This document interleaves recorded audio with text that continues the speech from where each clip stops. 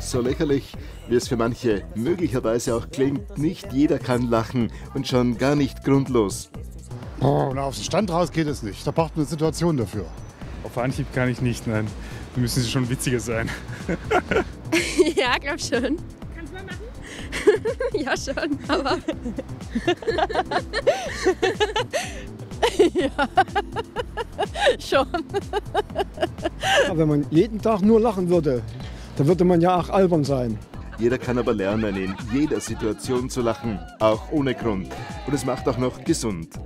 Naja, ich glaube, das hat was mit den Hormonen zu tun und äh, keine Ahnung, nicht Adrenalin, aber irgendwas, äh, Endorphine, genau, wenn ausgeschüttet, dann geht es einem einfach besser. Auch wenn es für die meisten selbstverständlich ist, obwohl wir wissen, dass es uns gut tut, wir tun es dennoch viel zu selten. In Österreich nur drei Minuten täglich. Halb so oft wie noch vor 40 Jahren. Das, was es heutzutage zu überwinden gibt, sind die Hemmungen. Vielleicht, weil sie sich genieren? Es ist einmal jeder andere Typ und manche sind halt dann, ich denke, wenn man so gerade vor der Arbeit kommt und man ist nur in Gedanken, man hat vielleicht dann wirklich wenig zum Lachen. Andere Länder, andere Sitten. Also ich denke, wir Deutschen, wir sind aus Deutschland, wir lachen wenig, leider. Ja. Österreicher lachen vielleicht mehr. man lächelt mehr oder grinst richtig laut loszulachen. Ähm, ist einfach in der heutigen Zeit, in den heutigen Generationen sehr schwer. Meistens hat man Hemmungen, dass man jetzt los, loslegt zu lachen und wirklich einmal sagt,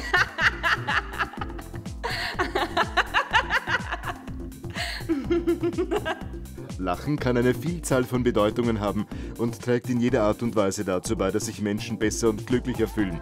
Der Körper kann nicht unterscheiden, ob es ein echtes oder falsches Lachen ist. Er profitiert von beiden Formen.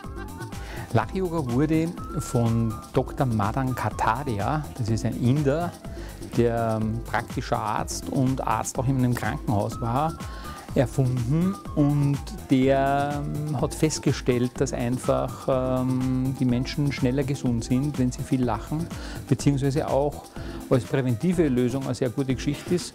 Wer viel lacht, ist weniger oft krank. Naja, aber das ist ja dann gekünstelt, man muss schon einen Grund haben zum Lachen. Wer sagt das?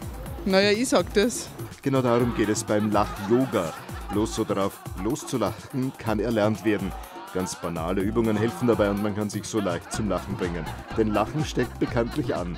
Also man kann jetzt zum Beispiel den Handylacher machen, wo man sagt, man imitiert ein Handy äh, und hat einen Gesprächspartner, der einen etwas ganz Witziges erzählt und kann darüber einfach lachen. Oder man hat auch das Begrüßungslachen, wo man hergeht und sagt Grüß Gott und dabei lächelt. Kinder beherrschen die Gefühlsäußerung des Lachens am besten. Wer lacht, lebt länger und vor allem gesünder. So eine alte Volksweisheit.